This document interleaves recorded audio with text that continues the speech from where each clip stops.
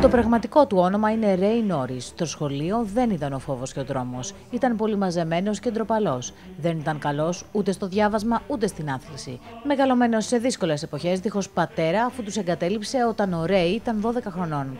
Ήταν το μεγαλύτερο παιδί της οικογένειας και έτρεχε για όλους. Σχεδόν μεγάλωσε τα δύο μικρότερα του αδέρφια, αφού ο αλκοολικός πατέρας δεν ενδιαφέρθηκε ποτέ ξανά για τα παιδιά του.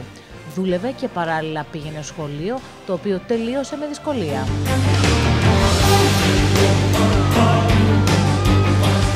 Με το που τελείωσε το Λύκειο, το πρώτο πράγμα που έκανε ήταν να παντρευτεί τον παιδικό του έρωτα, με την οποία έζησαν μαζί 30 χρόνια.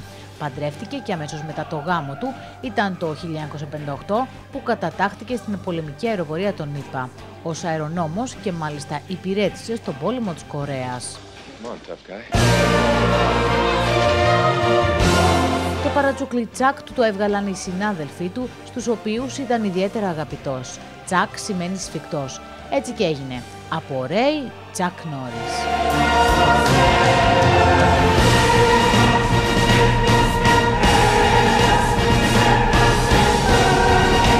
Τα χρόνια εκείνα στην Κορέα είχαν γνωρίσει άνθηση το Τανκ Σουντό Μουντουκουάν το οποίο κέρδισε το ενδιαφέρον του Τσακ αμέσως. Έμαθε όλες τις τεχνικές από το θρύλο της τέχνης, τον Grandmaster Jae Jun Kim. Με το που γύρισε από την Κορέα στην Αμερική και πιο συγκεκριμένα στη βάση της Καλιφόρνια, έγινε εκπαιδευτής πολεμικών τεχνών στους αεροπόρους. Το 1962 αποστρατεύτηκε και δύο χρόνια αργότερα ίδρυσε δική του σχολή. Πολλοί διάσημοι είχαν γραφτεί στη σχολή του και όλοι μιλούσαν για έναν εξαιρετικό δάσκαλο. Αν και καλός εκείνος σε αγώνες που έπαιρνε μέρος έχανε συνέχεια στις αρχές, μέχρι το 1966 που έσπασε η καντεμιά και ήρθαν οι νίκες και η αναγνώριση η τεράστια. Ήταν σχεδόν ανίκητος σε όποιο τουρνουά και αν συμμετείχε. Εξάλλου για τον Τσακ Νόρις μιλάμε, μην ξεχνιέστε. Κέρδισε δεκάδες πρωταθλήματα, είχε δεκάδες αγώνες με ρεκόρ 65 νίκες και 5 ήττες. Το 1974 αποσύρθηκε. Το 1969 κέρδισε τρεις διαφορετικούς τίτλους σε μία χρονιά και ανακηρύχθηκε από το επίσημο και πιο ιστορικό περιοδικό Black Belt ως μαχητής της χρονιάς. Η φήμη του εκτοξεύθηκε. Για έξι χρόνια μεσουρανούσε ως ο ανίκητος πρωταθλητής και είχε ανοίξει εκείνη την περίοδο 32 σχολές στις πολιτείες της Αμερικής.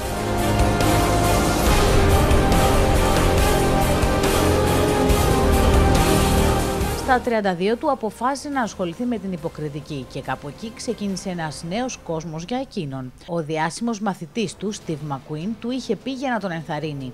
Αν δεν μπορείς να κάνεις κάτι άλλο, υπάρχει και το σινεμά. Το 1969 έκανε την πρώτη του ταινία. Στην Καλιφόρνια γνώρισε τον Bruce Lee και πήρε μέρος στην ταινία The Way of Dragon. Η σκηνή που παλεύουν στο Κολοσσέο είναι ανεπανάληπτη. Bruce Lee και Chuck Norris έγιναν φίλοι, προμπονούνταν μαζί, έκαναν παρέα μέχρι και το θάνατο του θρύλου του καράτε.